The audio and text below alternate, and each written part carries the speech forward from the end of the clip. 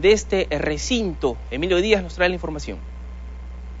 Muchas gracias, estudios. De esta manera luce el centro de acopio de aves de Hacho, que el día de ayer fuese clausurado de manera definitiva por la municipalidad del RIMAC en coordinación con efectivos de la Policía Nacional por no contar dicho establecimiento con la licencia de funcionamiento, certificado de defensa civil ni con adecuadas condiciones sanitarias de seguridad e infraestructura.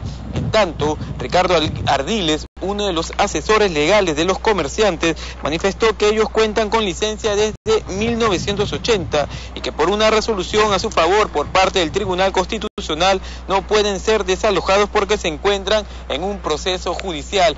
A estas horas de la mañana un grupo de comerciantes se encuentra atrincherado en el centro de acopio de aves exigiendo a las autoridades del RIMAC eh, sacar sus productos y es que ellos denuncian que durante la noche muchas de sus aves han muerto, por lo que su capital e inversión que ellos tienen depositados en este lugar se ha perdido. Ellos están esperando que llegue su asesor legal para que con documentos en mano puedan eh, solucionar a su favor este problema en que se encuentran. Esa es toda la información que tenemos desde el Centro de Acopio de Aves de Hacho. Continuamos con ustedes en Estudios Centrales.